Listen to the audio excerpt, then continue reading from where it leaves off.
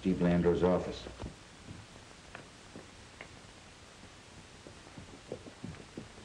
Hiya, Babs. You know the old saying, unlucky at cards, lucky in love. Doesn't seem to pan out in your case. Yeah?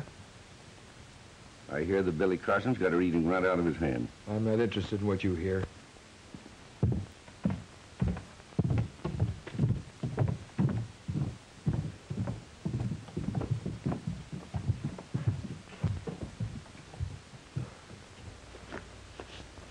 Hey, Fuzzy, come here. I wish I could start something sometime and not be bothered till I finish it. All right, I'm coming. What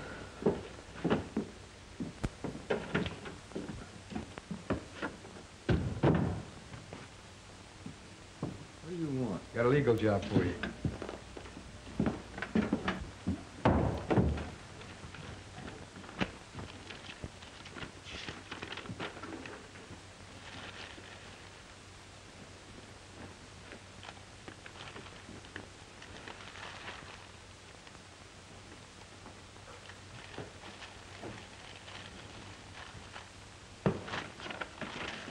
Pardon me, Your Honor. Now, uh, all right. Who's done what to who? I'm putting up part of my ranch for security for the money I owe Landreau.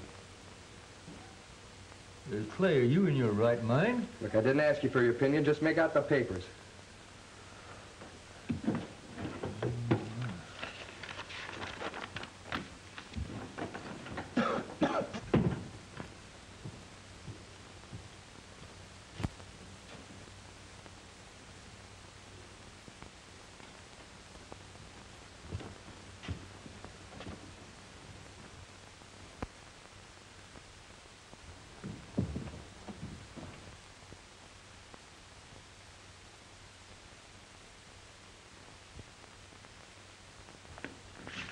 I hope this will keep you happy till my luck changes. Thanks. I wouldn't count too much on the change of luck if I were you. Hey, calm yourself, Clay. There won't be any gunplay, not just now. Look, you hung around long enough. Now it's time for you to move on.